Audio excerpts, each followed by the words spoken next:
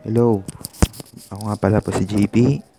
Re-reviewin po natin tong inverter na gawa ng Bosca na in-order ko sa Shopee na halagang 3,350. Siguro mga 3,500 sama na yung shipping fee. Kasi may shipping fee pag nagpapadeliver tayo sa Shopee. Bali nag-deliver sa akin ito ay Black Arrow.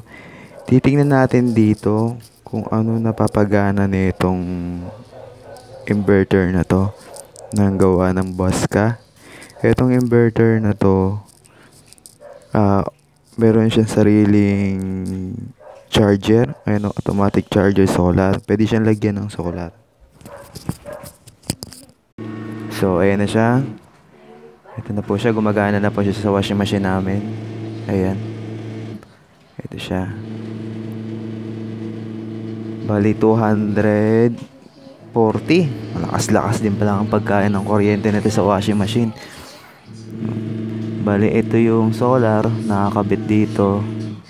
Ayan. Yung itong bakante, pwede yung lagyan ng ilaw na 12 volts. 12 volts output niyan. Yan.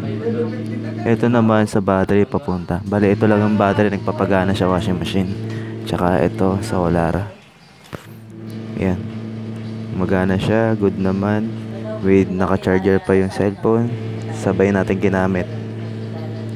Siya. Kaso nababawasan yung voltahe niya.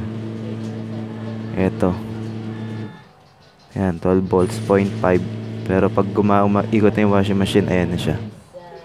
Pero bumabalik pa rin siya. Ayan. Okay naman, good naman din siya. Maganda rin performance. Mamaya maya gagana na yung blower na ito.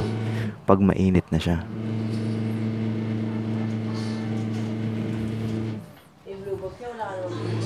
Ayan.